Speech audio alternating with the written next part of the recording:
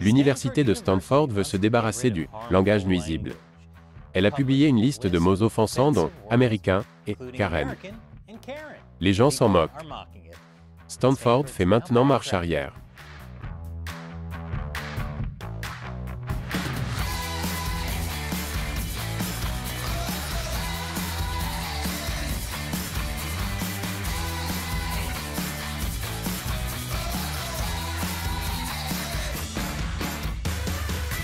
Bienvenue à l'émission Amérique dévoilée, je suis Chris Chappell. À la recherche de l'amour pour la nouvelle année, je vous recommande de regarder cette vidéo très importante sur notre nouvelle chaîne Les Joueurs Invaincus, comment j'ai trouvé et perdu l'amour dans Minecraft.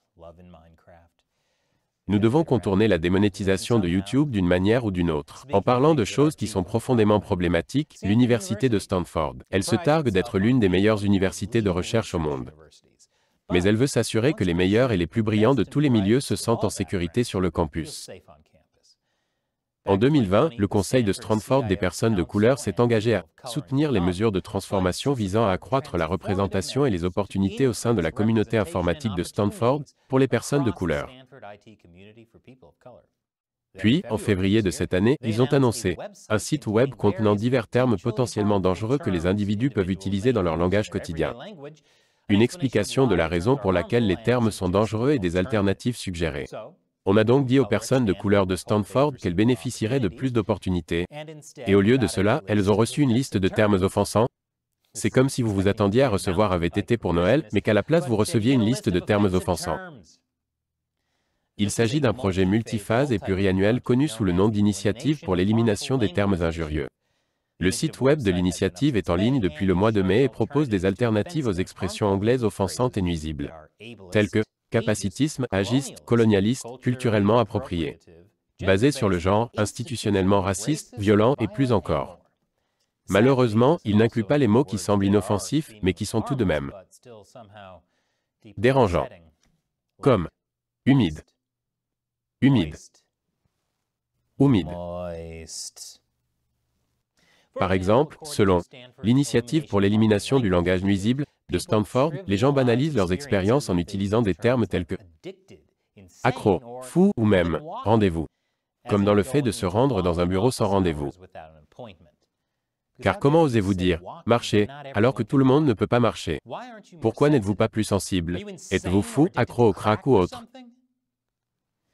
Stanford est aussi très porté sur les pronoms. Ils ou elles sont à proscrire, sauf si vous êtes sûr que ce sont leurs pronoms préférés.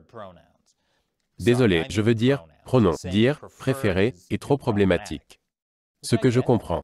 Parce que quand il s'agit de soupe ou de salade, la salade n'est pas ma préférence. C'est mon besoin.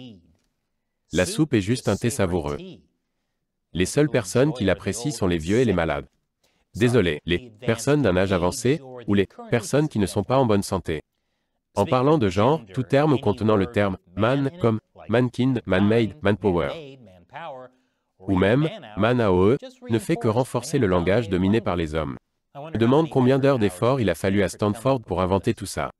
Et est-ce que ça veut dire qu'au lieu d'une manucure, il faut l'appeler une personnicure Tout ce qui contient les mots noir et blanc est également trop controversé car il est clair qu'ils ont des préjugés raciaux contre les noirs.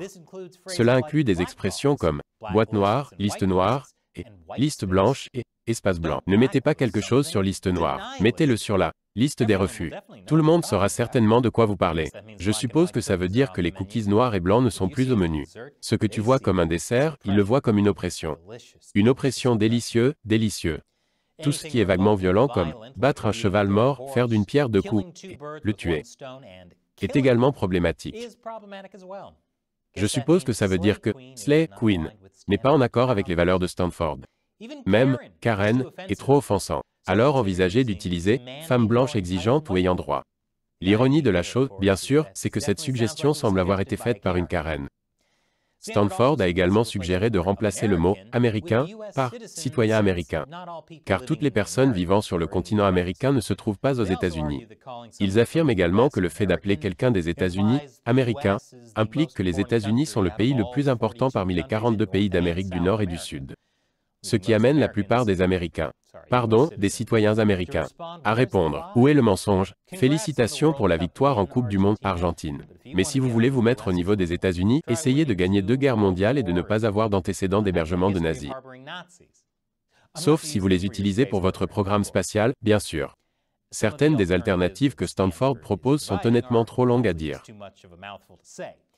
Tout ceci est un exemple de ce qu'on appelle le langage, personne d'abord, dans lequel tous les adjectifs sont mauvais.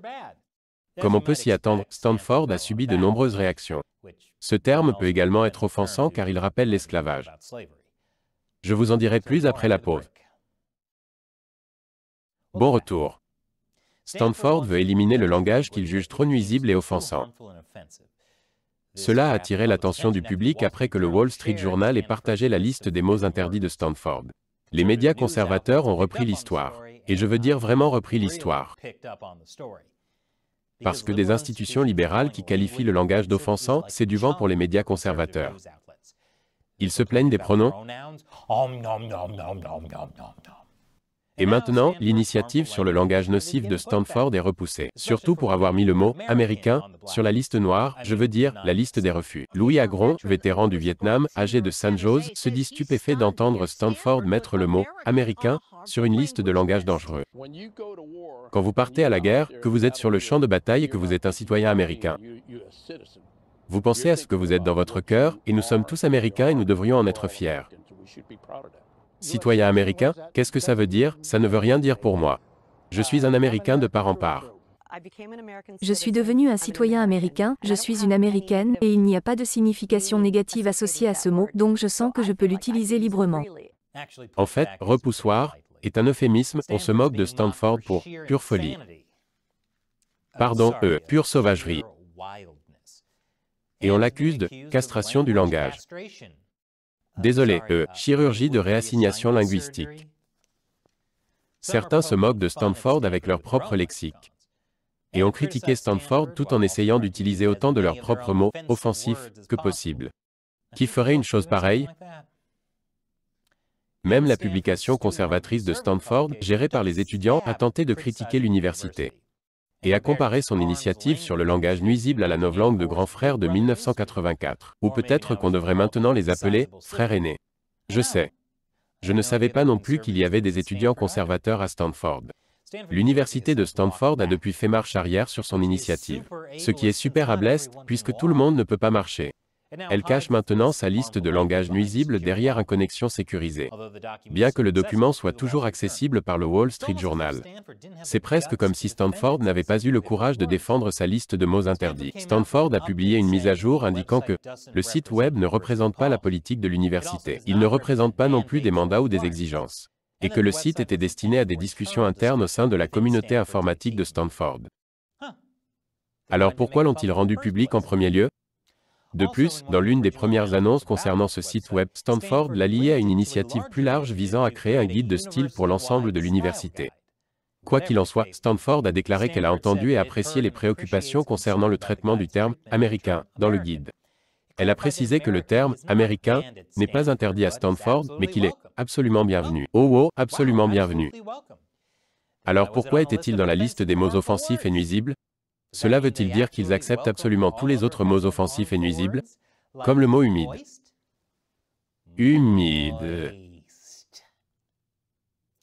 Stanford tente d'expliquer l'inclusion du mot américain dans la liste en disant qu'il voulait simplement donner un point de vue sur la façon dont citoyen américain peut être plus précis et approprié que américain. Mais elle a clairement raté le coche dans cette présentation. Attendez, rater la cible, n'est-ce pas un langage violent? Stanford n'est pas la seule université à avoir essayé de modifier le discours. L'Université Polytechnique de Californie a également essayé de suggérer des alternatives au vocabulaire sexiste et au langage des handicapés. Tout comme l'Université de Brandeis. Si l'on considère que c'est à cela que les universités consacrent des ressources, je pense que le terme le plus offensant utilisé sur les campus universitaires est en fait frais de scolarité. Plus précisément, comment ils pensent que c'est normal de faire payer autant. Alors, que pensez-vous de l'élimination par Stanford du langage nuisible? Laissez vos commentaires ci-dessous. Et si vous aimez cette émission, rappelez-vous que nous dépendons principalement du soutien direct de téléspectateurs comme vous. Il suffit d'un dollar par épisode sur notre site de financement participatif Patreon. Visitez patreon.com slash pour en savoir plus. Cliquez sur le lien ci-dessous. Encore une fois, je suis Chris Chappell, merci d'avoir regardé Amérique. Euh, je veux dire citoyen américain dévoilé.